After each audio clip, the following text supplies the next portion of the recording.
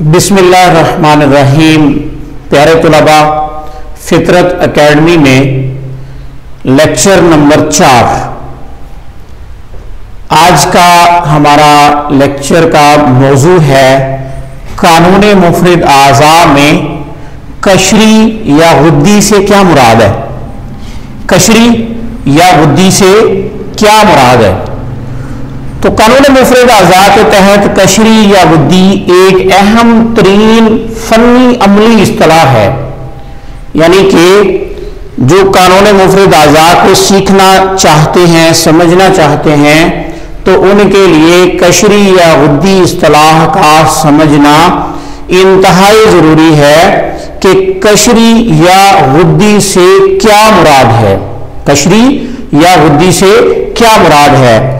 تو جب بھی قانون مفرد اعضاء کے تحت کشری یا ودی لفظ بولا اور لکھا جاتا ہے، تو اس سے مراد یہ ہے کہ جسم کی بناوٹ میں حصہ لینے والے تمام کشری یا ایپیتھیلیل خلیات یعنی کشری خلیات ایپیتھیلیل سیلز اور ان سے بننے والی کشری یا ودی نسیج یا کشری غدی مفرد عزو اور ایپیتھیلیل ٹشو اور جسم کے اندر پائے جانے والے تمام نالی دار حدود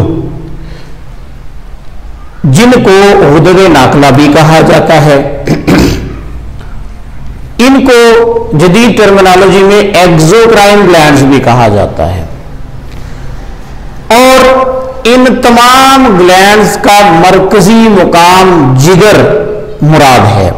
یعنی جب بھی لفظ کشری یا ہدی بولا جائے گا، تو اس سے مراد ہے تمام کشری خلیات۔ کشری خلیات سے بننے والی نسی یا مفرد عزم یعنی ایپیتھیلیل ٹشو اور جسم کے اندر پائے جانے والے تمام نالیدار یا ایگزوکرائن گلینڈز یا غدد۔ ان سب کا مرکزی مقام جگر کشری یا غدی سے مراد ہے۔ تو سادہ لفظوں میں سمجھ لیں کہ کشری یا غدی کا مطلب ہے کشری خلیات ایپیتھیلیل سیلز کشری غدی نسیج یعنی مفرد عزم ایپیتھیلیل ٹشو اور غدد ناکلہ یعنی نالی دار غدد ایگزوکرائن گلینڈز اور ان کا مرکزی مقام جگر یا لیور۔